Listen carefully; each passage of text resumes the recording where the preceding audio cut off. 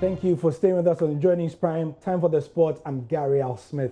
Now, first story the Ghana Football Association have revoked the provisional license of Ashgold's coach Kasim Gokyildiz. Now, he's from Turkey and he's been in the country for a while. But as you know, before the season started, the Ghana Premier League's uh, regulations changed to say that every Premier League team needed to be a license A holder.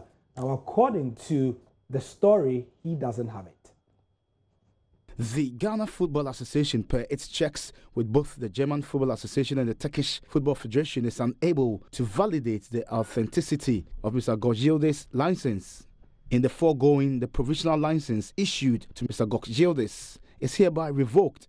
Consequently, the GFA will delete his name from the competition management system, and you are by this letter requested to cease using Kasim Gokyildiz as your head coach filling which the necessary sanctions shall apply. This directive is with immediate effect. In other news, Inter Allies have surprisingly produced the top scorer of the Ghana Premier League at the moment. He's a joint top scorer, to be clear. His name is Victorien Adebayor. He's taking the league by storm, and it's not surprising that his name is on the lips of many. Who is he? We know he's from Niger, but what motivates him and how has he overcome the language barrier? George Addo Jr. went to visit the man who has three assists, eight goals, and in eight games.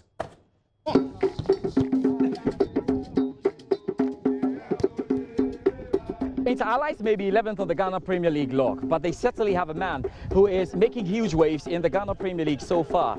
Out of eight games, he scored eight goals and has won four MVPs in great games in which he played. As well, he's managed to get three assists. So much for the young man in the space of nine match days in the Ghana Premier League. Victor Adebayor is the man we're talking about, and we're here to find out what makes him tick, what's really working out for him here at Inter Allies, and why he thinks he may just be the goal king at the end of the season.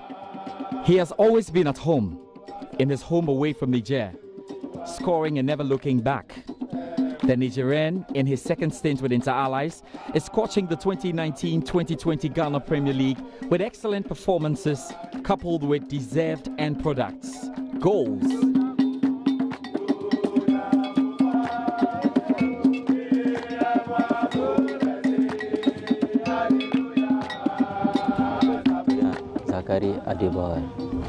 Je viens du Niger.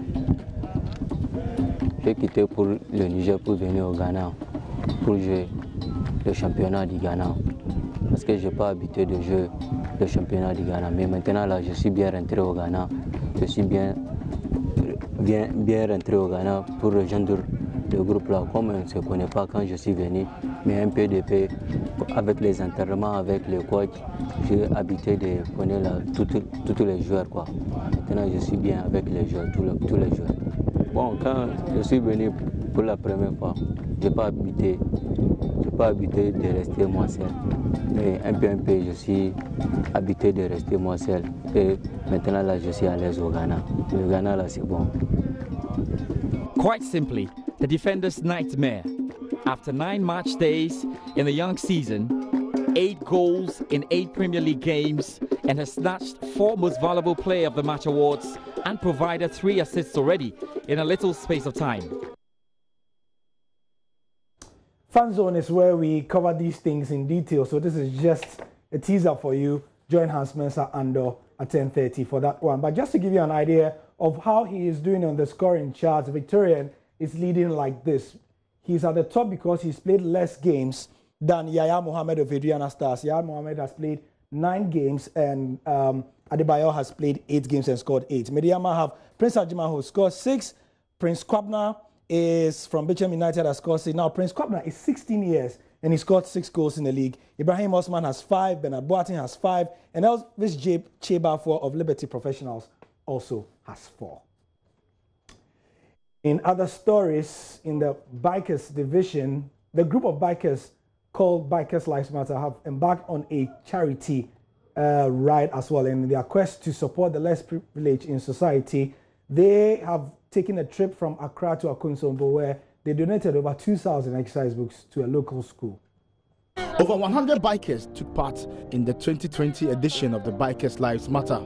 In the first edition, bikers rode from the Accra Mall and made stopovers at La Paz, Medina, and Adenta, where they distributed flyers to drivers and shared safety tips with them before reaching their final destination, Peduase Valley Resort. But this year's event took a different turn, a charity ride from Accra to Akosombo. Bikers converged at the Accra Mall and got ready for the trip. After they were given safety tips, the team set off.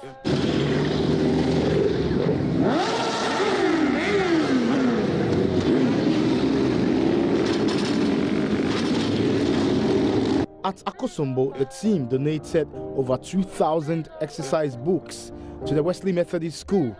Also, six brilliant but needy students were awarded scholarships. Thomas Isiape Jr., director of Bikers Lives Matter, was happy with this year's event. Uh, today's event was on charity, but the main concept behind this uh, charity is we are sending a message across to the public now, we've gotten to realize that bikers are mostly not respected in the public roads. We've realized that the drivers are mostly kind of intimidating bikers on the public roads. So the message we are passing across is we are saying that a biker's lives matter. Whoever is in the helmet could be your mother, it could be your friend, it could be your father, or it could even be your boss. So all we are trying to say is that drivers should look out for bikers, that even if we are in error in any of the road traffic regulations, they spot us and then they are able to assist us. Electroland Ghana Limited is one of the main sponsors of Bikers Lives Matter. Adiza Ibrahim Sadek is in charge of marketing. Anything that has to do with charity, if we look at it and it is laudable, we don't hesitate to come on board. This is not the first time we have supported bikers. We have done it with them like a year and two years ago. We go to orphanages and we donate to them.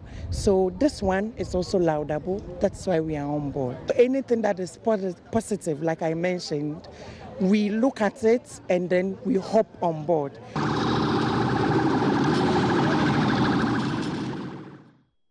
And with that, I also zoom out of the studio. My life matters. I'm Gary L. Smith.